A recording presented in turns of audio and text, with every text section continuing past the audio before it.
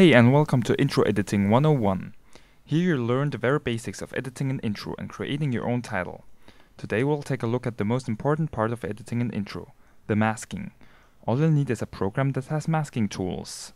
I'll be using After Effects for this task.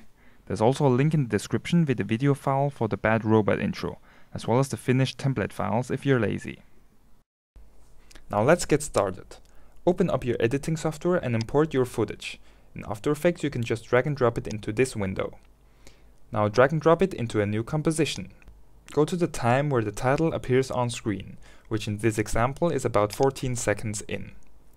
There are two ways to create a new mask. You can either press Layer, Mask, New Mask, and then change the shape of it, or you can draw it yourself by pressing the G key to bring up the pen tool. Now draw around the title to create your own mask.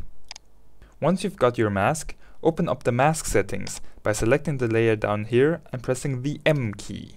Now open up the drop down menu here and select subtract since we want the mask to remove the title. Now click the little timer next to mask path to enable keyframing of this mask. Go back to about 12 seconds in where the title appears on screen and insert a keyframe by pressing this button here.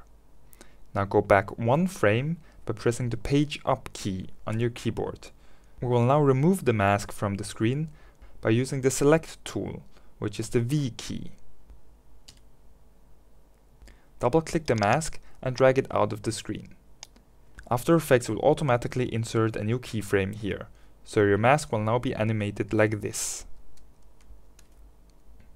To fill this hole, you'll have to create a solid with the same color as the background. Press Layer, New Solid, and then set the color to the same color as your background. Press OK and drag your solid below your footage. We have now removed the old title, so let's go on and create a new title by pressing Layer, New Text. Enter your desired text and select it. So you can change the settings using the font controls out here. You can change the font using this drop-down menu here. When you're satisfied with your title, select the text layer down here and press the P key to bring up the position controls. To change the values, click and drag your title into position, like this. Now I'll have to fade the title in and out. Bring up the opacity controls by pressing the T key. Go to about 12 and a half seconds in and enable keyframing by pressing this little watch here. This will also insert a keyframe. Now go back to about 12 seconds and change the opacity value to 0. Finally, we'll have to set the fade out and synchronize it to the fading of the video. Move to about 15 seconds in, insert a keyframe, go to about 15 and a half seconds, and set the value of the opacity to 0. That's it, now you're ready to render. Select your composition, press composition and add to render queue. If you need a tutorial about all the rendering settings you can use, click this annotation here.